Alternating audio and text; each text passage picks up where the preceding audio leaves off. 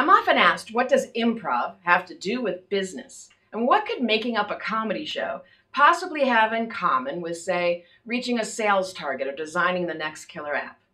Allow me to start by putting you in the shoes of an improviser. Imagine you're standing on stage in front of dozens of people, and they're all there because they desire something from you. In this case, to be entertained. And what they expect is something wonderful, and they want it right away. Now, if you look around the stage, you'll see there's no sets or props. And by the way, you don't have a script. But what you do have are your teammates. You're all in this together. And the greatest part is you all know that everyone has each other's backs. There's no better feeling in the world.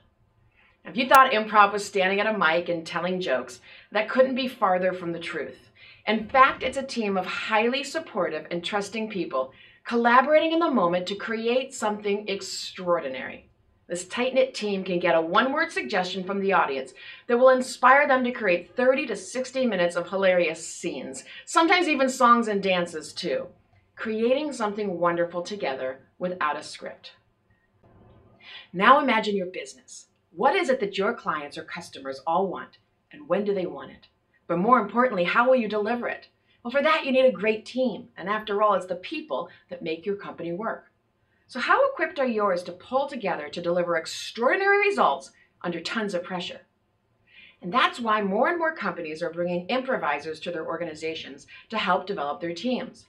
In improv, we like to say that the only star is the ensemble itself. And we mean it. We put our team before ourselves because we know it's the only way to create something extraordinary, something that no one of us could have created completely on our own. It all starts with time spent preparing to improvise. That's right. We spend a lot of time preparing ourselves to thrive under pressure and without a script. Preparation means rehearsals in which we just play lots of really fun games that build support and trust within the group. One of my favorite beginner games is Ninja Stars, where we simply pretend to throw and catch a bunch of imaginary ninja stars with the goal that no one dies. And in order to succeed, everyone needs to be fully present and playing all in. Furthermore, our level of communication is way heightened since our ninja stars are imaginary.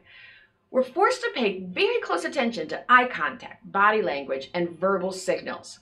Throwers also have to be sure that catchers are fully prepared before they can release the weapon. And that's how you catch it. It's a super fun game that anybody can play. The key is to facilitate the game in a way that builds more challenging levels and debrief along the way with the team to discuss how does this apply to work. I've taught this game in this way to many teams, and the number one takeaway from everyone is that trust is the foundation of all great teams. And a simple way to start to increase trust within a team is to practice having each other's backs under difficult circumstances. So that's just one example of how improv can be a fantastic teaching tool for organizations that want a high energy, high impact way to quickly bring a group of people together and transform them into a high performing team. Now, whether you want that team to deliver the next killer app or a killer comedy show, that's up to you. I'm Amy Lisewski, founder of Finest City Improv and director of professional development. Thanks for joining me today.